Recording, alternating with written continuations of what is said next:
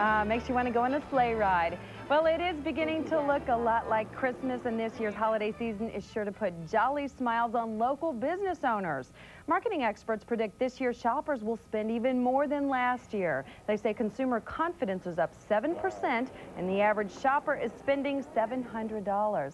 Oh, I wonder what's driving shoppers to the stores this year. Well, I think the weather has been an indicator. It's been a little bit cold and we've had a touch of snow. And also, Thanksgiving is so much later that there's less shopping days between Thanksgiving and Christmas. Well, we've been playing uh, Christmas songs in the house and uh, watching Christmas videos since uh, right after Halloween. So. And the shoppers we talked to don't seem to mind the crowds either.